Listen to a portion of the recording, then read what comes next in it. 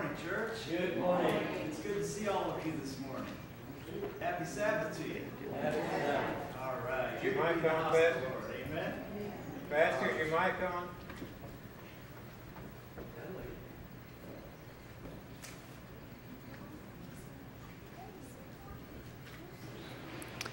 How's that? A little loud. Try it again. All right, that sounds better. He likes it when I cooperate with him, that, that audiovisual guy up there.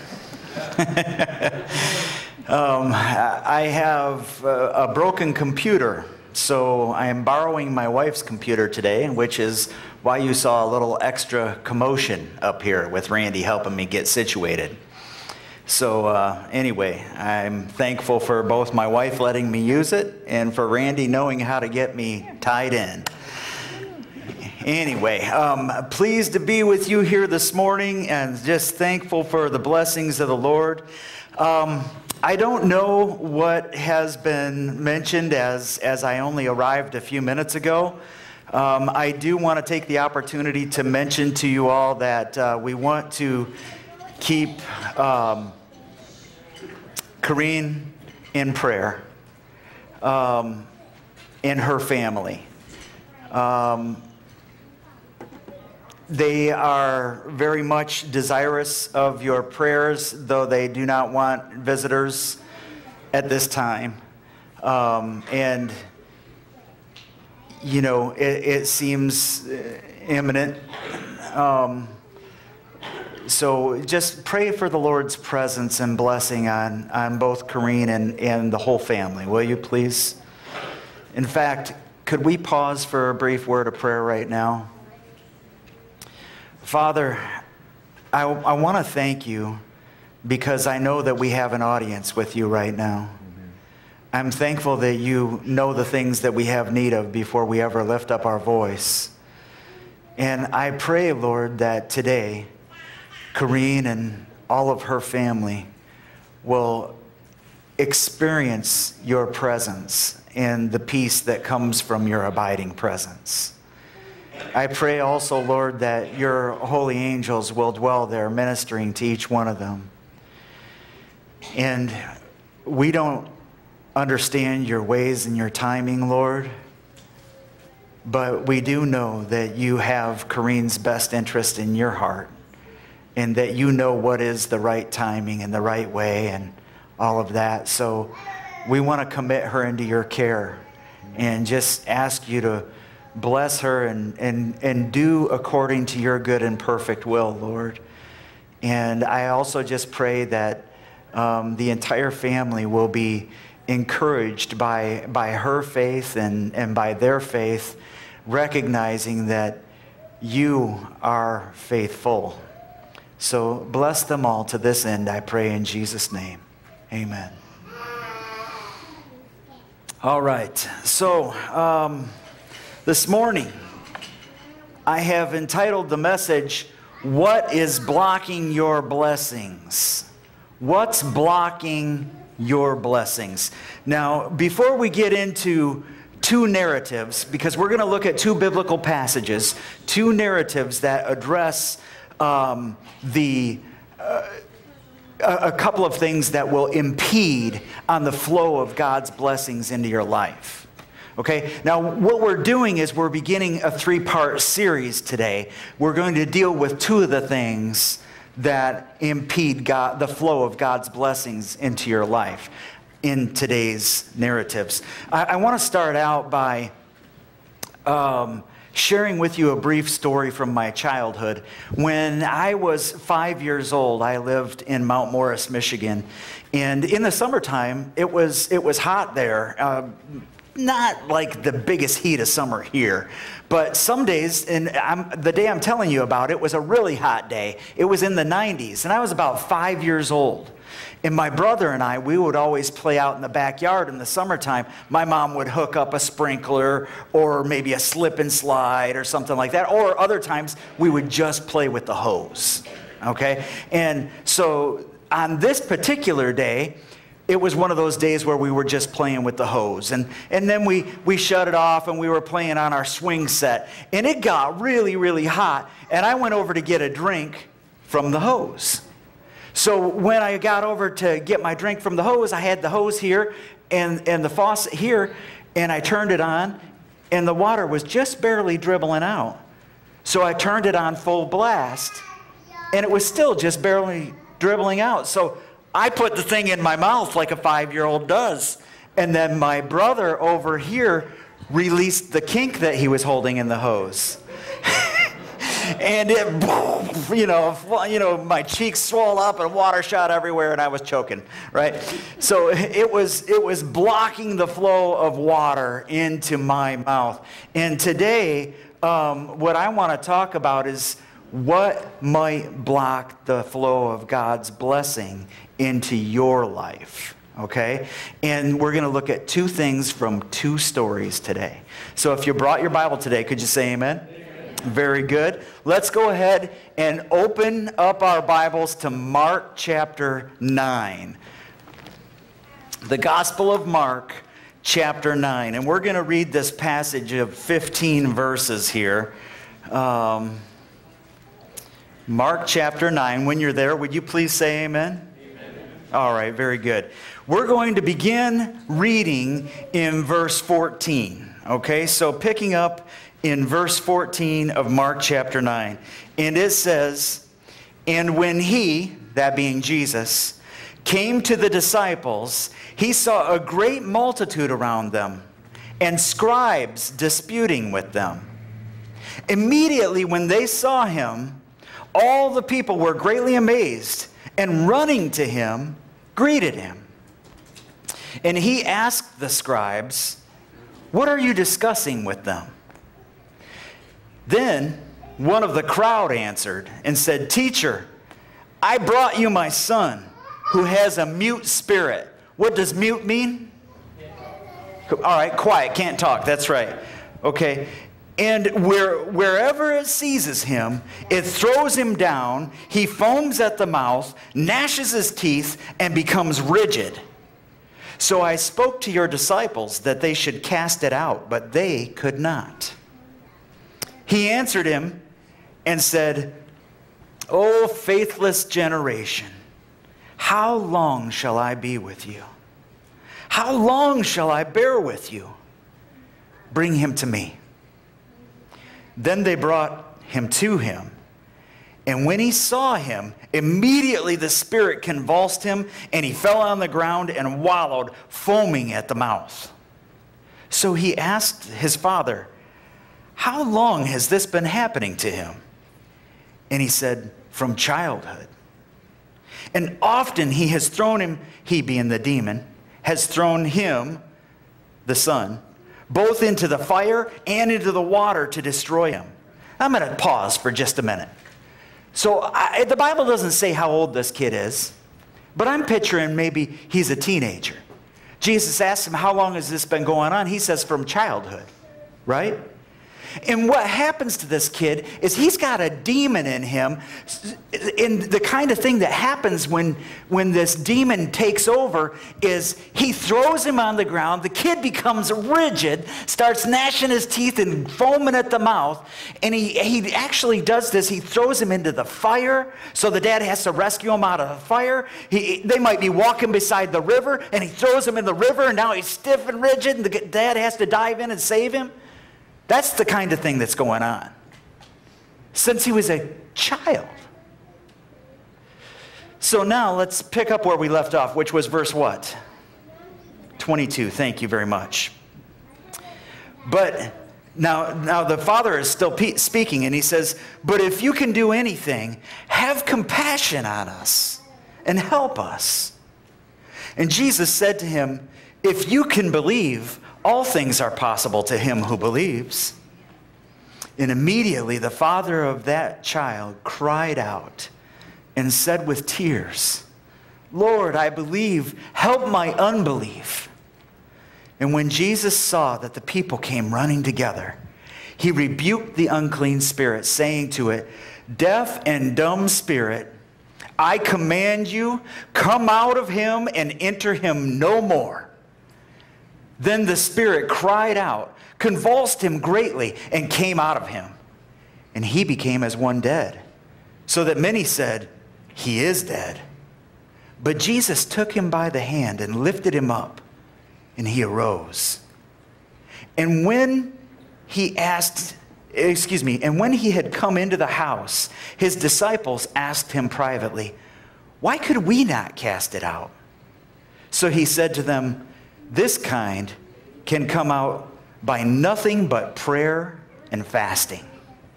And that is where we're going to stop with this first um, situation that causes that causes a block in the flow of blessings. So, first of all, we're going to take a, a, closer look at some verses. Let's look back at the text. Let's look at verses 17 and 18. Look at verse 17. Then one in the crowd answered and said, Teacher, I brought you my son who has a mute spirit. Notice that in verse 17, at the, at the, or, pardon me, at, in verse uh, 18, at the end of the verse, he says, um, I spoke to your disciples that they should cast it out, but they could not. Right? So now he's saying, I brought you my son. Now, uh, one thing that I want to point out here, folks, this is something that I hope you will remember for the rest of your life no matter who you are. Whatever your issue is, whatever your concern, your trial is, you can bring it directly to Jesus. You bring it to Jesus. You know, he went to first to the disciples, didn't he? And listen, the disciples, these are, it makes sense why they went to the disciples. These guys were, you know, Jesus' disciples. They're walking with him, they're talking with him, they're learning from him. These guys work miracles too, don't they? Right? Yes. So it makes sense that they went to the disciples, given that. But, but it makes more sense that they would go directly to Jesus. So here's the thing the disciples, unwittingly, they kind of were, they were kind of like my brother, crimping the hose. The blessing of God was not flowing through them into the life, was it? Hmm. But Jesus is the one that you all need to go to. We all need to go to directly, right? Now, listen, it, does that not mean, I mean, God works through people, doesn't He? Yeah, sometimes God uses a person to speak truth into your life, to encourage you, to provide for you, to protect you. God uses people, there's no doubt about it. And I'm not saying that you shouldn't go to someone who you respect as a spiritual leader to ask for help or something like that. What I am saying is don't do that before you have gone to Jesus. Go to Jesus directly. Go to Jesus personally. Go to Jesus with whatever it is that you need. He came with his son, didn't he? What is it that you want to bring to Jesus? Come to him directly. You know, this is something that I really love about the stories that are in the Bible, okay? A, a, couple of things. Number one is these stories are about people who are flawed, like you and me, okay? And secondly, there are lessons from these stories that we can draw out and apply to our lives today, right? So I really appreciate that. So the, the first part is go directly to God. Remember that for the rest of your life. Sure, you can go to other spiritual leaders for help. I'm not discouraging that. I'm saying first things first. Make sure that you have your personal connection with Jesus and you're going to Him. Not trying to just connect with God through someone else. Does that make sense? Yeah, okay. Now let's look at verse 22. Verse 22 in the narrative, the dad is speaking and he says, And often he has thrown him into both the fire and into the water to destroy him. But what? If you can do anything, have compassion on us and help us. If you can do anything, if you can do anything, who is he talking to? He is talking to, remember, in the beginning was the Word, and the Word was with God, and the Word was God, and the Word became flesh and dwelt among us, right? Amen. All things were created for Him and by Him, and without Him, nothing was made that was made. Isn't that right? We are talking about the one who speaks things into existence. We're talking about the one who called Lazarus forth from the grave. We're talking, if you can do anything, and I got to tell you something. I've prayed that prayer before. Lord, here's my situation. If you can do anything to help us out, can He? Of course He can. I love Jesus' response. He responds just, just exactly appropriately. Jesus says, Well, if you can believe, then all things are possible. The guy is saying, if you can do anything, Jesus is saying, I can do anything if you believe. Right? If you believe, what's possible? Anything, man. Anything. I love that. So,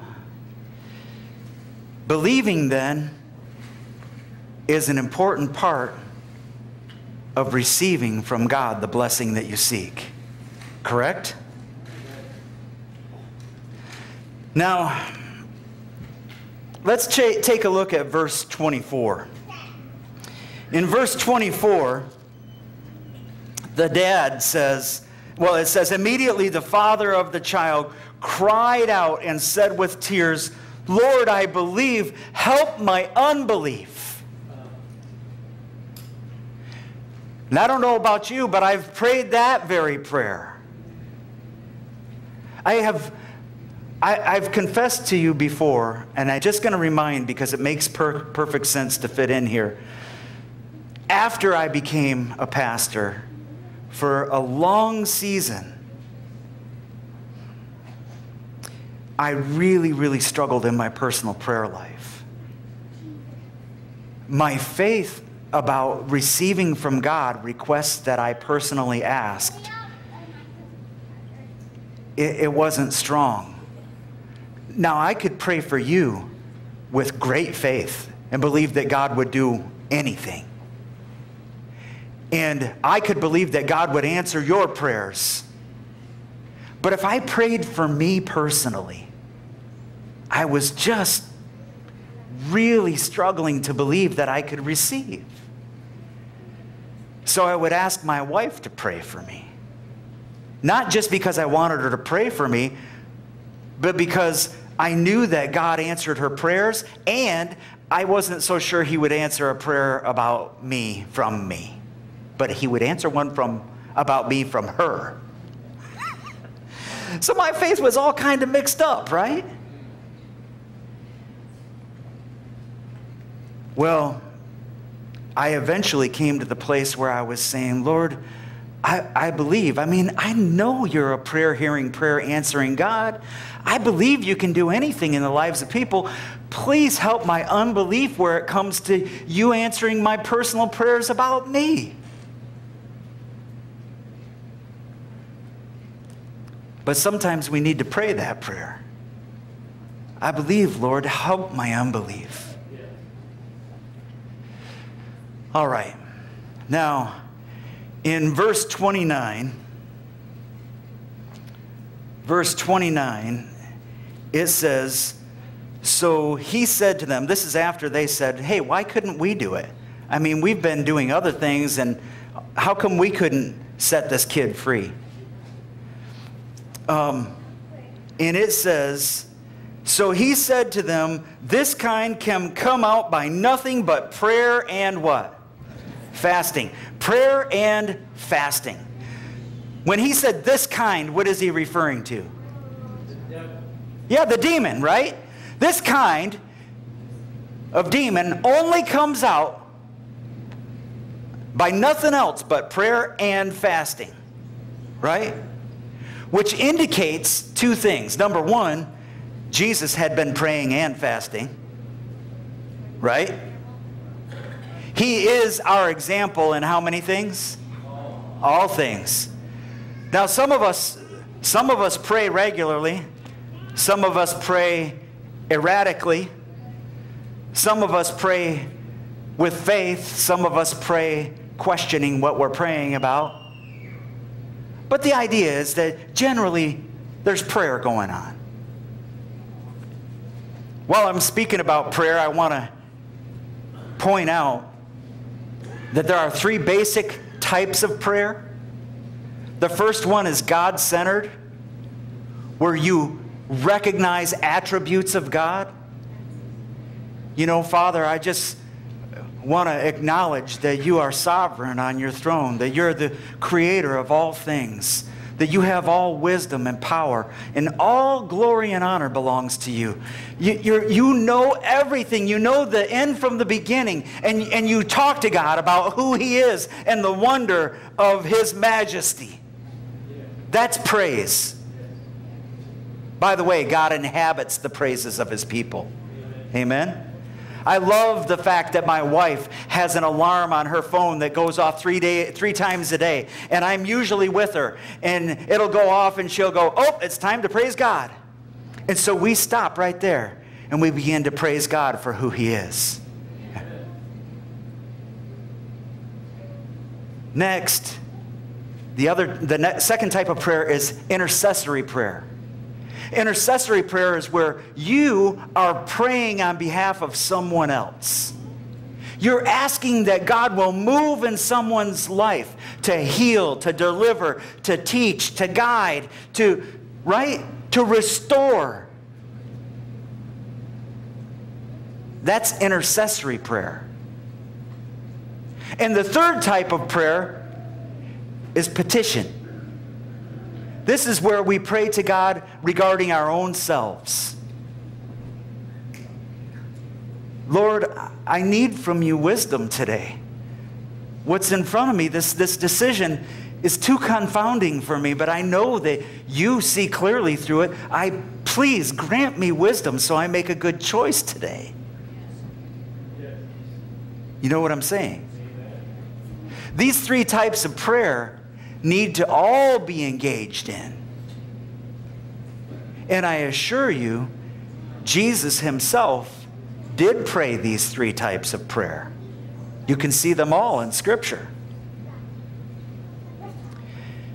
And by the way, if you're going to be an effective prayer for someone else, by the way, the Bible says that the effectual, fervent prayer of a righteous man avails much. Meaning what?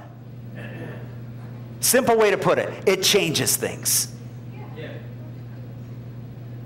The effectual, fervent prayer of a righteous man avails much, changes things. When we think about righteousness, yeah, that's, that's the caveat, right?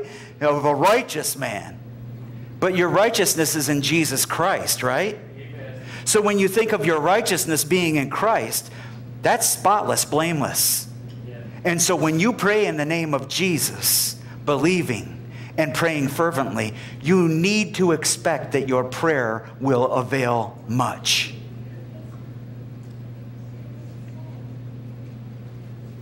So, if you want to have effective intercessory prayer, I want you to recognize that it will be flowing out of the fact that you have been engaged in the other types of prayer as well. You will have acknowledged who God is and your great dependence upon Him. And you will have asked Him to work in your heart and in your mind that He might impart to you the Holy Spirit and make you a vessel through which He can work. And then you engage in intercessory prayer. Is this clear? So, it is by prayer and fasting that this kind come out.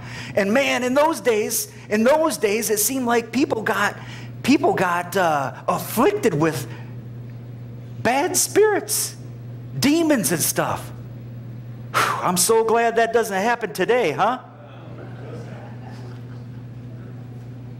You better believe it happens. If you don't think it happens, you are in the worst kind of a denial because you are not acknowledging that there is an enemy of your soul and your family. I assure you, there are dark forces at work, but greater is He that is in me than He that is in the world. Amen? So, by prayer and fasting is how this kind come out. Fasting means what? Not eating, okay? Not eating. When Jesus fasted, he didn't eat, did he? Right? Okay. Here's the thing though fasting is more than just about abstinence from food. I agree with you, it includes that. But it is, you, you then, let's say that you take a period of time and you fast. You fast for a meal, or you fast for a day or you fast for a week, whatever the time period is. When you're fasting, when you are not eating, and the time when you would normally be eating, invest that time into taking in spiritual food. When you're not eating physically, eat spiritually. Open your heart to God. Talk with Him. Seek the Lord with your whole heart. This is the way that fasting will be advantageous. In that time when your mind is not clouded by the foods that you've consumed. By the way, today, these days, there are so many foods that do consume our, that we consume that cloud our minds especially things that are high in fat and sugar, which is like half of our diet. You know, I say that a little bit uh, tongue in cheek, but you get the meaning. These things cloud our minds. And when your mind is clouded, friends, when your mind is clouded, it is more difficult for the Holy Spirit to communicate with you and impart light to you. But when your mind is unclouded, then you can be enlightened in a more effective and timely manner. God will use the period of fasting to then equip you with the knowledge and the strength that you need as you engage in spiritual warfare on behalf of others. Do you understand what I'm saying to you? This stuff is important today. All right, so I also want to point one more thing out that I would be remiss to point out if, to, to leave out rather. If you notice, this boy, this young man maybe, who's been afflicted with a demon from childhood, a demon who physically abuses him and tries to destroy him and panics his father routinely. The problem with why he hasn't received the blessing of healing and deliverance in his life, what is the problem? What's blocking the flow of the blessing? Come on, from the passage, what's blocking the flow of the blessing? Unbelief. Whose unbelief? The dad's unbelief. Wow.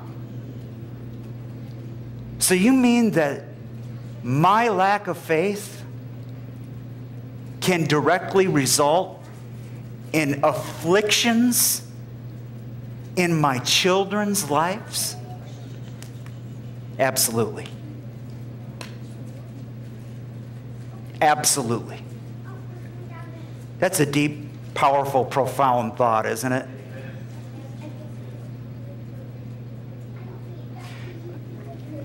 Unbelief blocks the flow of God's blessing into our lives.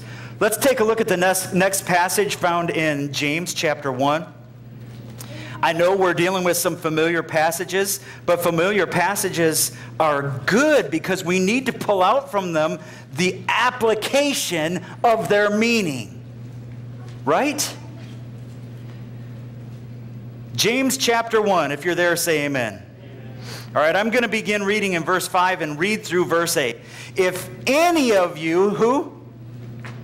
Any. If any of you lacks wisdom, let him ask of God, who gives to all how? Liberally and without reproach, and it will be given to him. I'm going to pause right there. What does it mean liberally? Lots. Generous, yeah. Freely. I'm not tight fisted. Giving it freely, right? Liberally. Take much. No limit. Amen. Okay, so if any of you lacks wisdom, let him ask of God who gives to all liberally and without reproach, and it will be given to him. But let him ask in faith with no doubting. For he who doubts is like a wave of the sea driven and tossed by the wind. For let not that man suppose that he will receive anything from the Lord. Which man won't receive anything? The doubting one, that's right. He is a double minded man, unstable in all his ways. So, what is the Bible saying that I can get from God? That's right. There is a caveat. I have to go to him how? Pardon me? Unwaveringly. I need to believe. I can't be doubting. You ever pray a prayer? Yeah, expectant is very good. Who put that chair there?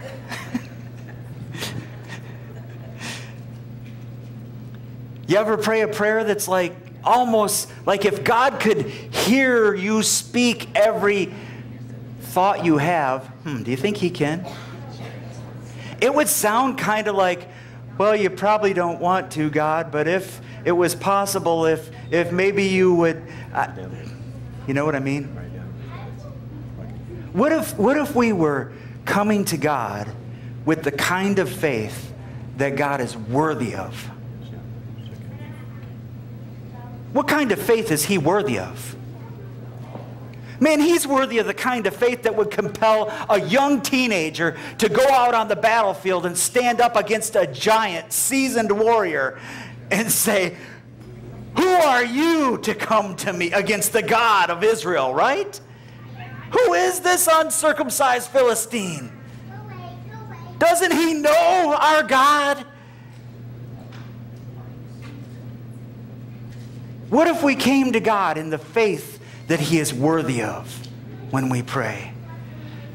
Then you would start seeing the truth of the scriptural principle that the effective the effectual fervent prayer of a righteous man avails much. So, no doubting. Now let's go to Hebrews, right in front of James, Hebrews chapter 11, the faith chapter. We're going to read verse 6. Okay, if you're there, say amen. All right. Verse 6 says, But without faith it is what? Impossible to please him. For he who comes to God must believe that he is, and that he's a rewarder of those who diligently seek him.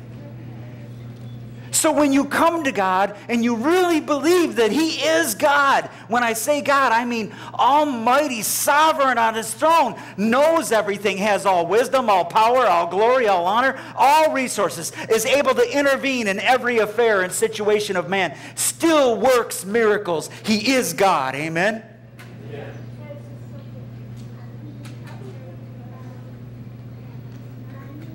It's impossible to please Him if we don't come to Him in that attitude. We must believe that He really is God and that He's a rewarder of those who diligently seek Him. Not that He's tight fisted, that He's holding back. You know, even in the parable of the persistent friend, where the friend keeps knocking at the door, hey, you know, I got some company. I know it's late. You and the kids are in bed, but hey, we need some bread, right? And eventually the friend concedes and gives some bread so that they can feed their guests, right? The Bible says, How much more will God give the Holy Spirit to those who ask Him?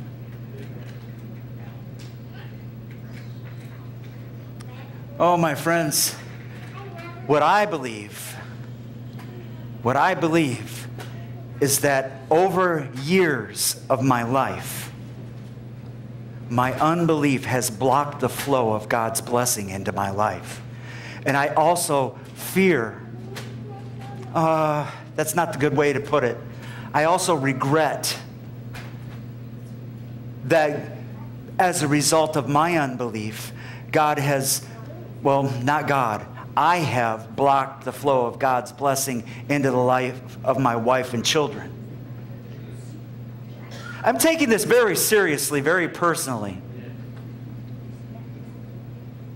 And I want to have the kind of faith that God wants me to have, that He's worthy of me having. And I want to become the kind of man of prayer that when I pray, because of who God is and His promises revealed in and through me, people around me expect things to happen. You know what I'm saying?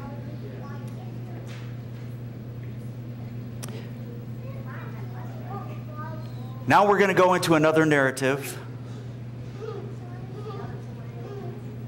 Actually, I'll be I'll be conscientious. I'm going to take a vote right now. Do you want to look at one more narrative and one more situation? Or do you want to call it a day and pick this up an, another week? Who'd like to stay and study? Show your hands. All right, we're going to do that. Sorry, I could tell easily that was the majority. All right. So we're going to look at this story, and I'll try not to go labor on too long, but it's important. It's, it's 1 Samuel chapter 15. 1 Samuel chapter 15.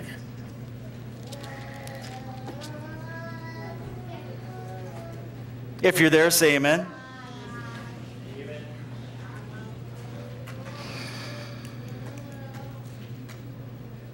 Still hear those pages rustling? All right. I've heard quite a few amens. We're going to go ahead and get started. We're going to begin at verse 1. We're going to read the entire text of chapter 15. Then we'll go back and talk about it, break it down a little bit like we did the previous story. Okay? Beginning in verse 1. Samuel also said to Saul, The Lord sent me to anoint you king over his people, over Israel. Now, therefore, heed the voice of the words of the Lord. Thus says the Lord of hosts I will punish Amalek for what he did to Israel. He has ambushed, he, how he ambushed him on the way when he came up from Egypt. Now go and attack Amalek and utterly destroy all that they have. And do not spare them, but kill both man and woman, infant and nursing child, ox and sheep, camel and donkey I mean, this is total eradication, isn't it? Okay.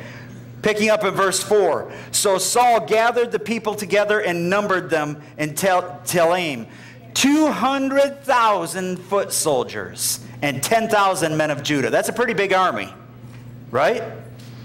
And Saul came to the city of Amalek and lay in wait in the valley. Then Saul said to the Kenites, Go, depart Get down from among the Amalekites, lest I destroy you with them.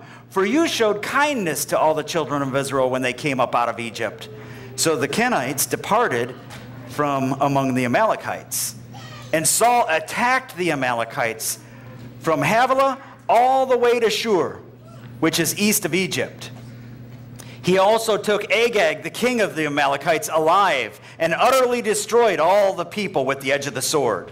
But Saul and the people spared Agag and the best of the sheep, the oxen, the fatlings, the lambs, and all that was good, and were unwilling to utterly destroy them. But everything despised and worthless, that they utterly destroyed. Now the word of the Lord came to Samuel, saying, I greatly regret that I have set up Saul as king, for he has turned back from following me and has not performed my commandments.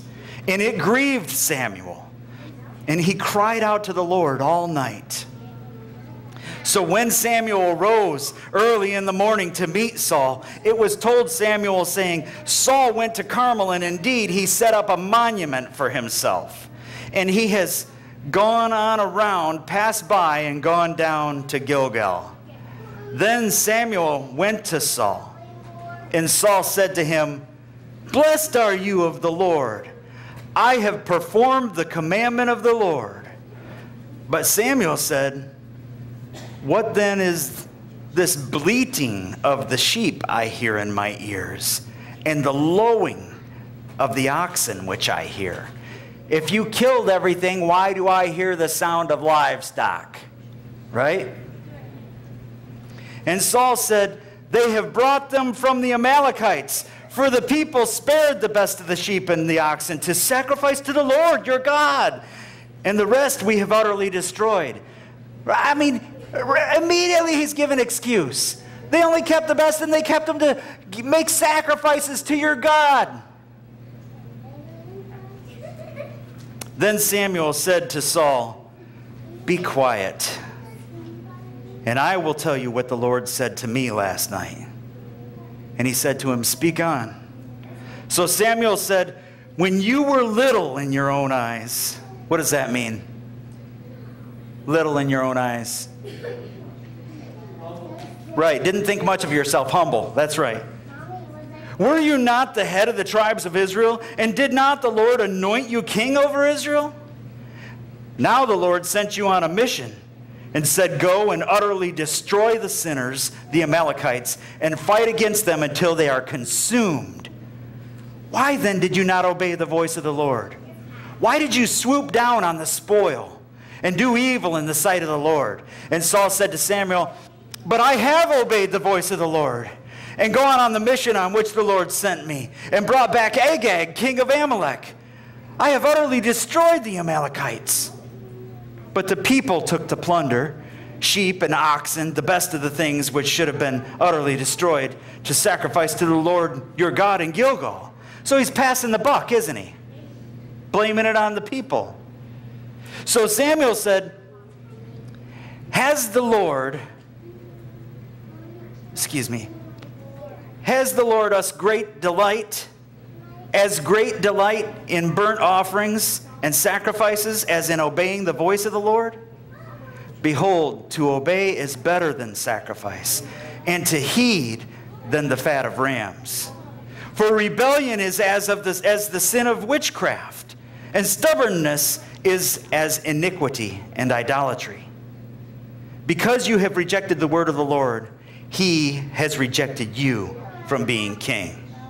And then Saul said to Samuel, I have sinned, for I have transgressed the commandment of the Lord in your words because I feared the people and obeyed their voice. It's better to obey God than man, right? Now, therefore, please pardon my sin and return with me that I may worship the Lord. But Samuel said to Saul, I will not return with you, for you have rejected the word of the Lord, and the Lord has rejected you from being king over Israel. And as Samuel turned around to go away, Saul seized the edge of his robe, and it tore. So Samuel said to him, The Lord has torn the kingdom of Israel from you today, and has given it to a neighbor of yours who is better than you. Who's that neighbor? David, yeah. And also, the strength of Israel will not lie nor relent, for he is not a man that he should relent. Then he said, I have sinned, yet honor me now, please, before the elders of my people and before Israel, and return with me that I may worship the Lord your God. Eh, he still wants to save face, doesn't he? So Samuel turned back after Saul and Saul worshiped the Lord. You know, the Lord is merciful, amen? Then Samuel said, Bring Agag, king of the Amalekites, here to me. So Agag came to him cautiously, and Agag said, Surely the bitterness of death is past. But Samuel said, as your sword has made women childless, so shall your mother be childless among women. And Samuel hacked Agag in pieces before the Lord in Gilgal. Then Samuel went to Ramah, and Saul went up to his house at Gibeah of Saul. And Samuel went no more to see Saul until the day of his death. Nevertheless, Samuel mourned for Saul, and the Lord regretted that he had made Saul king over Israel. Whew, that's quite a story, isn't it? That is quite a story. I want to consider a few things from that story. In verse 12, it says that Saul set up a monument for himself. Then down uh, later, it says that uh, when he was little in his own eyes, right? But uh, obviously, he's not little in his own eyes. He's setting up a monument for himself. And you know what? People can even do this in the name of the Lord. You know that? Sometimes people build a church, even. They build a church, and it's supposed to be a, a, a monument to the Lord, but it's really a, a monument to the donor.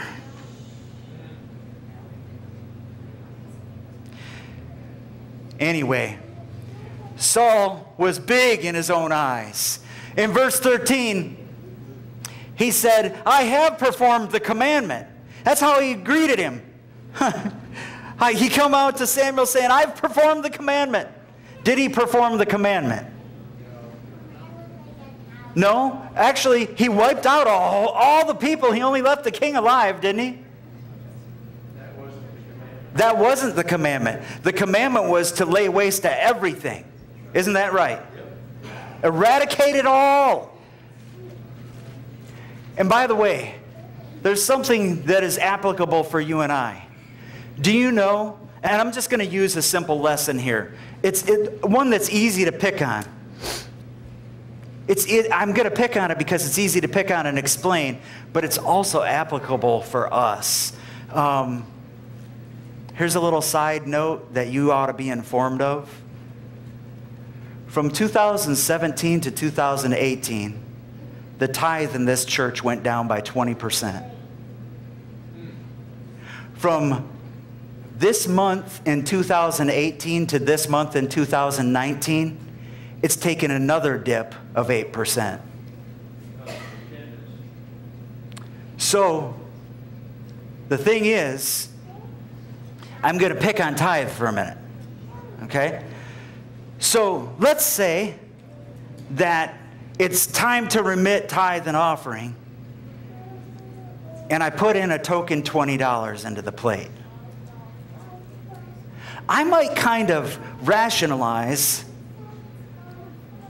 that I have performed the commandment because I went through the motion of giving at church. But am I really feeling what God has called me to do? Because what He requires from me is a 10% tithe and offerings. Is, right? Please don't get me wrong. I am not getting hung up on legalism. What I am doing is addressing obedience. You can do this with anything, man. I just picked on tithe because it's easy to explain and point out, and it does apply to our congregation.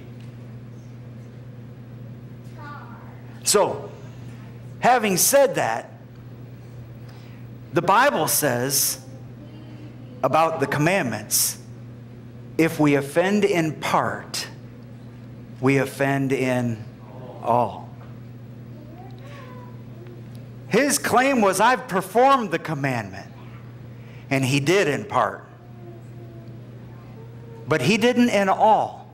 And the way God saw it is he was disobedient and rebellious. Okay. Verse 16 says, Be quiet. Friends, do you know that there comes a time when you need to stop making excuses for your behavior? when you need to stop rationalizing what your misconduct is about and let God speak to you words of correction, words of peru- reproof. Let Him get you on the right track, but you have to be quiet to hear Him. Amen? By the way, Pastor's not being hardcore today. I just think the Word of God is pretty straight. Amen? All right. Next thing, verse 17. When you were little in your own eyes, and it's been pointed out, being little in your own eyes is to be humble before the Lord, to recognize that it's Him who's great. You know, He's God and I am not, right? By the way, should I point out that uh, all or nothing principle again? He's either Lord of all or He's not Lord at all in your life. Okay, so um, when you humble yourself in the sight of the Lord, what does He promise? He will lift you up, He will exalt you. The opposite of that is when I raise myself up, when I exalt myself, pride goes before a fall. He'll bring me low. Okay, Verse 22 says, To obey is better than sacrifice. I want you to think about this. When you think about the old um, way of worship, their system of doing things, sacrifice was pivotal in how man approached God, right? It, when they brought sacrifice, they were acknowledging, You are God. You are worthy of being worshiped. I am bringing a sacrifice out of obedience to you, and I am laying it down in faith, putting my trust in you that you will allow a blessing to flow through my worship of you. Right? God is saying to obey is better than sacrifice. If, if you want to demonstrate that you acknowledge me as God, if you want to demonstrate that you have faith in me and in my goodness, if, if you want to demonstrate that you belong to me as my covenant people, then obey me. It's better than sacrifice or any other form of worship. In verse 23, it says that rebellion is as the sin of witchcraft. Witchcraft? My goodness, when I think about witchcraft, I think about like, you know, dark, evil, absolutely opposite of God stuff, don't you? And rebellion is as the sin of witchcraft? Like dark and evil and absolutely opposite of God? Yep. Yep.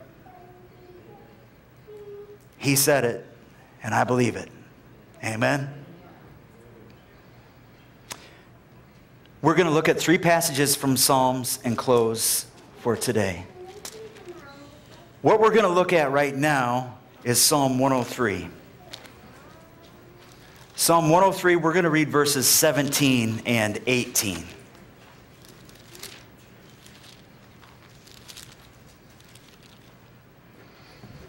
All right, if you're there, would you say amen? amen? Very good.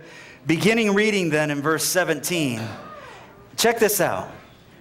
But the mercy of the Lord is from everlasting to everlasting on those who do what? Fear him. And his righteousness to children's children. I want to pause right here to point out that what was blocking the blessing of the young man remember, was his dad's unbelief, right? From the first story, folks? Connecting with me?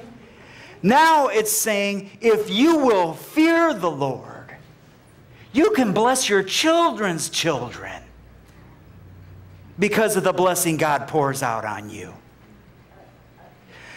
Notice what it goes on to say and such as keep his covenant, and to those who remember his commandments to do them.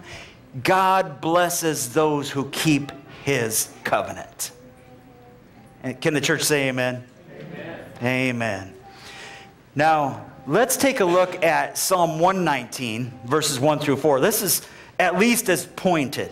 Psalm 119, verses 1 through 4. So, picking up in verse 1, what is the very first word there? Blessed. Blessed are who? Blessed are the undefiled in the way, who walk in the law of the Lord. Blessed are those who keep his testimonies. Testimonies is another way of saying what? Commands, that's right. Who seek him with the whole heart. They also do no iniquity, they walk in his ways. You have commanded us to keep your precepts how? Diligently. What does diligently mean? What? Diligent. Yeah. Diligent does mean diligent. what else does it mean? Okay. Yeah, you're very intentional. What?